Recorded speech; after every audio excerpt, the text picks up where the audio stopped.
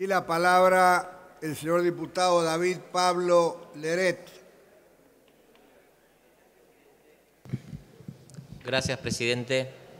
Algunas consideraciones generales y después algunas en particular respecto de la situación de los productores en mi provincia, la provincia de Neuquén. Quisiera mencionar en primer lugar los esfuerzos compartidos que están detrás de la sanción o de la renovación de esta ley de emergencia que hoy estamos tratando. En primer lugar, reconocer el esfuerzo prioritario de los productores, que desde hace mucho tiempo vienen apuntalando y realizando un gran esfuerzo, no solamente en mantener la producción de sus chacras, sino también en intentar hacerla crecer. En segundo lugar, las asociaciones, las cámaras y aún las agrupaciones espontáneas en función de poder llevar adelante este tipo de acciones frente a los distintos organismos. También reconocer el esfuerzo del Estado Nacional, en este caso a través del órgano ejecutivo, del Poder Ejecutivo,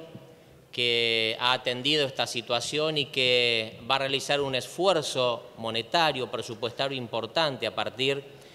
la sanción que vamos a darle o de la aprobación de este proyecto que ya tiene media sanción del Senado y también el esfuerzo de este Congreso que ha sabido amalgamar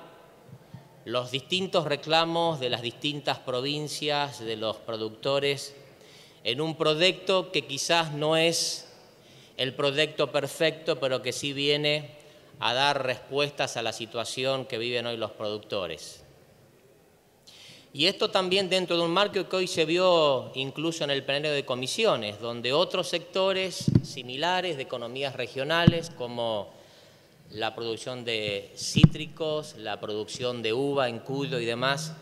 también están realizando eh, planteos similares, con lo cual me parece que el gran desafío es intentar dar respuesta a estos sectores dentro de lo posible y dentro de lo que el presupuesto nacional permite.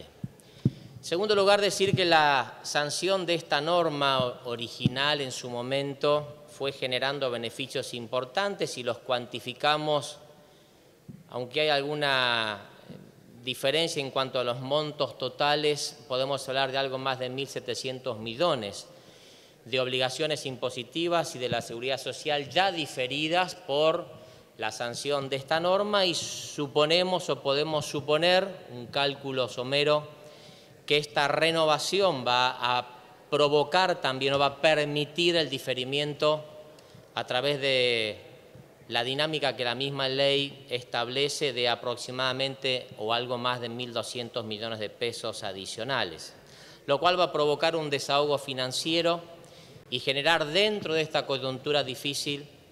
un alivio a los productores. En la provincia de Neuquén particularmente el sector da trabajo directo a aproximadamente 5.000 personas, 5.000 trabajadores, que es necesario resguardar y mantener y esto creo que es un paso importante. Respecto al futuro inmediato y al de quizás mediano plazo, me parece que hay algunas cuestiones pendientes que este Congreso y en conjunto con el resto de los actores deberíamos seguir trabajando.